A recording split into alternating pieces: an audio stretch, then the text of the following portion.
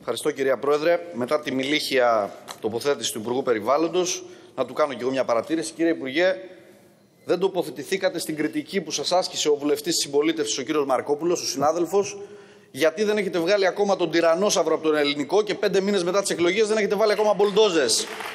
Απαντήστε στον συνάδελφό σας που έκανε ερωτήσεις εδώ από το βήμα. Έχω χιούμορ πολύ. Εσείς να δείτε πόσο έχετε. Μετά το φιάσκο λοιπόν της κυβέρνησης που επιδοτεί μακελιό και ελεύθερη ώρα και στοιχηματικές εφημερίδες, προσήλθαμε σήμερα το πρωί στο διάλογο και αφού ήδη τα είχατε κάνει μαντάρα, να σας πείσουμε γιατί, για το αυτονόητο. Να επαναφέρετε δηλαδή την κοινή υπουργική απόφαση που λύνει όλα αυτά τα ζητήματα που προέκυψαν για τις, από τις αλλαγές τις οποίες κάνατε. Την κοινή υπουργική απόφαση του Ιούνιου, τη δικιά μας. Γιατί κάνατε αλλαγές τον Οκτώβριο και τις βρήκατε μπροστά σας. Και πάνω σε αυτή τη βάση σας ζητάμε να μην διανοηθείτε, να αναστείλετε που δεν είναι το πρόγραμμα για την ενίσχυση του τύπου, γιατί είναι ζήτημα θωράκισης και προάσπισης της ίδιας της δημοκρατίας. Και πλέον είναι στο χέρι σας, έχετε την απόλυτη ευθύνη, περιμένουμε τις πρωτοβουλίες σας να λύσετε αυτά τα προβλήματα που εσείς οι ίδιοι, επαναλαμβάνω, δημιουργήσατε με αυτές τις αλλαγές που κάνατε τον περασμένο Οκτώβριο. Πάντως, όσον αφορά τον προπολογισμό, ξέρετε κυρίες και κύριοι συνάδελφοι, όσο καλοσχεδιασμένο και αν είναι ένα ψέμα, όσα μέσα και αν το προπαγανδίζουν νυχθημερών, έρχεται κάποια στιγμή που η αλήθεια βγαίνει στην επιφάνεια. Δυστυχώς για την κυβέρνηση Νέας Δημοκρατίας, η ώρα της αλήθειας ήρθε νωρίς. Μόνιμη εποδός των κυβερνητικών βουλευτών είναι ότι υλοποιείτε τις προεκλογικές σας δεσμεύσεις. Πρόκειται για ένα απέραντο ψέμα, το οποίο αποκαλύπτεται με την κατάθεση του προπολογισμού. Και αυτό σύντομα, δεν το λέμε εμείς, οι πολίτες θα το διαπιστώσουν στις τσέπες τους και την καθημερινότητά τους. Α θυμηθούμε εδώ τι λέγατε πέρυσι, τέτοιο καιρό, πριν έναν χρόνο, στον προπολογισμό του 19. Ότι θα έχουμε τέταρτο μνημόνιο, λέγατε. Ότι 3,5% πρωτογενές πλεόνασμα είναι απαράδεκτα υψηλό. Αλήθεια, μπορείτε να τα πείτε αυτά φέτος; Μπορείτε να τα πείτε σήμερα; Δεν νομίζω. Στην πράξη, είστε ίσως η μοναδική κυβέρνηση που δεν τολμήσατε να μιλήσετε για καμένη γη. Παραλάβατε τη χώρα εκτός μνημονίων, εντός αγορών, με ανάπτυξη 2,8 στο τέλος του δεύτερου τριμήνου του 19 και γεμάτα ταμεία 37 δις ω cash buffer.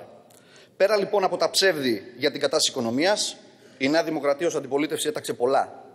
Πού είναι η μείωση του στόχου του 3,5% πρωτογενούς πλεονάσματο που τάξατε κυρίες και κύριε αντιπολίτευσης; Ο στόχος του προπολογισμού που φέρατε πάλι 3,5 είναι. Πετάξατε στα σκουπίδια ένα σχέδιο που σας προτείναμε εμείς, να πάρουμε 5 δις 5,5 το μαξιλάρι, ώστε κάθε χρόνο να έχουμε 2,5 στόχο. Να εξοικονομήσουμε δηλαδή 1% του ΕΠ, δηλαδή 2 δις ελαφρύνσεις από την ελληνική οικονομία. Δεν το θέλετε. Πού είναι η ανάπτυξη 4% που λέγατε ότι θα φέρετε; Εσείς οι ίδιοι μιλάτε για 2,8 το 2020 και αν έρθει και αυτό. Πού είναι η αύξηση του κατώτατου μισθού; Στο διπλάσιο ποσοστό από αυτό της ανάπτυξης που λέγατε προεκλογικά. Αυτό που είδαμε μέχρι σήμερα από εσάς είναι η κατάργηση στην ουσία των ελλαδικών συμβάσεων που με κόπο και βαγόνε είχε καταφέρει η κυβέρνηση του ΣΥΡΙΖΑ. Αυτό σημαίνει μειώσεις μισθών και απολύσεις. Βλέπετε ήδη τι συμβαίνει στις τράπεζες και στην Τράπεζα Πυραιός που απέλησε 24 άτομα. Πού είναι οι συγκλονιστικές φοροελαφρύνσεις που, θα που θα αυξάναν το εισόδημα των πολιτών; Είναι μήπως τη μείωση του πρώτου συντελεστή στο 9% μέχρι 10.000, που αν τη συνδυάσεις με την αύξηση των ασφαλιστικών εισφορών που ανακοινώσατε, όπως και με την υποχρέωση όλων των ελεύθερων επαγγελματιών για 30% δαπάνες με πλαστικό χρήμα, στο τέλος το ταμείο από την ίδια τσέπη επιβαρύνσεις θα είναι και όχι ελαφρύνσεις. Είναι μήπως τη μείωση από 28 σε 24 στο φόρο των επιχειρήσεων, όπου περίπου το 80% του συνολικού ποσού θα το καρποθεί το 2,5% του συνόλου των επιχειρήσεων; Τάξατε αύξηση εισοδημάτων. Εξηγήσατε αλήθεια στις μικρομεσαίες επιχειρήσεις τι σημαίνει ότι από τα 780 εκατομμύρια ευρώ που έπεσαν πέρυσι στην αγορά μέσω του κοινωνικού μερίσματος φέτος θα πέσουν 175 και αν. Τα μαγαζιά έχουν πολύ μειωμένη κίνηση σε σχέση με πέρυσι. Στους ανθρώπους στα χωριά της επαρχίας που ζορίζονται να τα βγάλουν πέρα και με το μέρισμα που έδινε ο ΣΥΡΙΖΑ κάνανε Χριστούγεννα και κλείναν κάποιες τρύπες. Είναι η αλήθεια. Τι έχετε να πείτε σε αυτόν τον κόσμο; Μήπως στους συνταξιούχους είπατε ότι δεν θα πάρουν 13η σύνταξη που επανέφερε ο ΣΥΡΙΖΑ; 900 εκατομμύρια ευρώ μείον. Σας δώσανε και 45% στις εκλογές και τους γράψατε στα παλιότερα των υποδημάτων σας. Είχατε προειδοποιήσει μήπως στου συμπολίτες ότι αν γίνετε κυβέρνηση σκοπεύετε να φέρετε μεγάλη αύξηση στα τιμολόγια της ΔΕΗ; Είχατε πει μήπως ότι τα 2.000 ευρώ για κάθε παιδί που θα δώσετε θα τα κόψετε από το μηνιαίο επίδομα για το Α21 ή από άλλα επιδόματα που μειώνετε; Στην πραγματικότητα, εσείς κάνετε σκληρά ταξική πολιτική. Υπέρ των λίγων όμως, αυξάνοντας τις ανισότητες. Βάζετε προτεραιότητα τα κέρδη των πολύ μεγάλων επιχειρήσεων και τα μερίσματα. Τη φορολογία των ΠαΕ, τη μείωση φόρους στους ΣΟΣΕΚΑ, αντί να μειώσετε την προκαταβολή φόρους στο 50% για επιχειρήσεις και ελεύθερους επαγγελματίες, να καταργήσετε την εισφορά αλληλεγγύης μέχρι 20.000 ευρώ και να τη μειώσετε από εκεί και πάνω, να μειώσετε τον έμφυα 50% μέσα σταθμικά για τις μικρομεσαίες ιδιοκτησίες, να μειώσετε το ΦΠΑ από το 13 στο 11. Τίποτα από όλα αυτά δεν επιλέγετε. Είναι ένα πολιτικό σχέδιο αυτό, δεν το επιλέγετε. Όλα αυτά δηλαδή που εμείς είχαμε εξαγγείλει ότι θα κάνουμε από το δημοσιονομικό χώρο που έχετε κληρονομήσει. Και τώρα έρχεστε και νομοθετείτε τα 1,2 δις. Αλλά εσείς θέλετε να τα δώσετε στους φίλους σας, στου ισχυρούς, τον, κλάδο, τον παρασιτικό κλάδο, τους παρασιτικούς κλάδους, χωρίς καμία δέσμευση προφανώς, αν αυτοί θα τα επανεπενδύσουν. Έρχομαι τώρα και στα ζητήματα του Υπουργείου Ψηφιακής Διακυβέρνησης, στα ζητήματα των μέσων μαζικής ενημέρωσης. Προς ώρας, βλέπουμε από τους υπουργούς να κινούνται μόνο σε εκθέσεις ιδεών. Το Υπουργείο πήρε πολλές δομές και φορείς από άλλα Υπουργεία και νομοθέτησε ένα υπερσυγκεντρωτικό γραφειοκρατικό σχήμα. Ήταν τόσο προχειροφτιαγμένο, το είχαμε πει άλλωστε και τον Αύγουστο, που έχετε φέρει ήδη με αλλεπάλε τροπολογίες και αλλάζετε διαρκώς αρμοδιότητες, δομές και διαδικασίες. Άκουσα τον Υπουργό τον κύριο Γεωργαντά για ζητήματα πλούσιας διαδικασιών του δημοσίου και δεν μας είπε τίποτε ουσιαστικό. Και αλήθεια, κύριε Υπουργή, πέντε μήνες μετά δεν έχετε εκδώσει νέο οργανόγραμμα στο Υπουργείο, παραβιάζοντας το χρονοδιάγραμμα που εσείς οι ίδιοι βάλατε. Δεν σας το βάλε κανένας. Αποτέλεσμα, χαλάσατε και αυτά που βρήκατε από την προηγούμενη πολιτική ηγεσία. Δηλαδή την ψηφιακή διακίνηση εγγράφων εντός του Υπουργείου. Άκουσαν, άκουσαν τώρα Υπουργός Ψηφιακού Μετασχηματισμού παρέλαβε ψηφιακή διακίνηση εγγράφων στο ίδιο το Υπουργείο και το γύρισε στο μάνιουαλ, στο χειροκίνητο, στυλό και μολύβι δηλαδή και χαρτί. Έτσι θα κάνετε αλήθεια ψηφιακό μετασχηματισμό σε όλο το δημόσιο. Αυτό, αυτό είναι το σχέδιό σας. Μακάρι, εγώ δεν το βλέπω πάντως, κύριε Υπουργέ, κύριε Υπουργοί, ούτε εμείς, αλλά δεν το βλέπει ούτε η αγορά, στην οποία έχετε υποτίθεται, ε, την έχετε ως σημαία. Όλοι βλέπουν ότι δεν βγάζετε νέα έργα, αλλά ακυρώνετε και κάποια έργα από αυτά που βρήκατε έτοιμα από την κυβέρνηση του ΣΥΡΙΖΑ.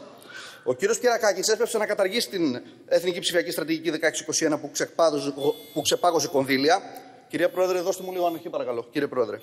Παρ' όλα αυτά, σε μια απόφαση για το ηλεκτρονικό εισιτήριο στα κτέλ, επικαλείστε ακόμα τη δική μας Εθνική Ψηφιακή Στρατηγική. Περιμένουμε πέντε μήνες να τη δούμε τη βίβλο και να κάνετε σχετική διαβούλευση. Είπατε, τη μοιράσατε, τώρα μας λέτε δεν είναι έτοιμη, δεν ξέρουμε τι ισχύει. Ποιο είναι το χρονοδιάγραμμα για τη, για τη θεσμοθέτηση της βίβλου; Θα κάνετε αξιολόγηση της Εθνικής Ψηφιακής Στρατηγικής όπως προβλέπετε, ώστε να ενσωματώσετε τα συμπεράσματα στη βίβλο και να υπάρχει μια συνέχεια στην ψηφιακή πολιτική της χώρας; Φοβάμαι ότι στην προσπάθειά σας να δείξετε έργο έχετε χάσει την μπάλα. Και μας προκαλεί και απορία για ποιο λόγο δεν υπάρχουν φέτος στοιχεία του προπολογισμού της Γενικής Γραμματείας Ενημέρωσης που έχουν περάσει απευθείας στον Πρωθυπουργό.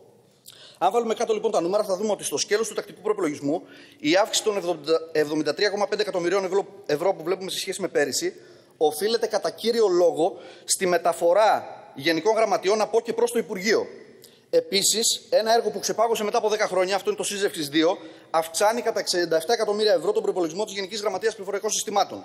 Βέβαια, πήρατε το έργο από την κοινωνία της πληροφορίας, το δώσατε στη Γουγουπουσού, γι' αυτό και άλλαγε στον στο προπολογισμό, αλλά σας βλέπω να το ξαναγυρνάτε πίσω, γιατί να κάνετε πάλι παλινοδίες. Γιατί δεν υπάρχει διαχειριστική επάρκεια στην Γουγουπουσού για να τρέξει το έργο.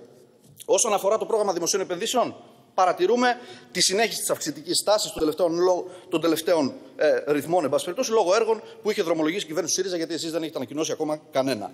Όπως είναι και το ΣΥΔΕ, το, το, το σύστημα ηλεκτρονικής διακίνηση εγγράφων. Τελειώνω.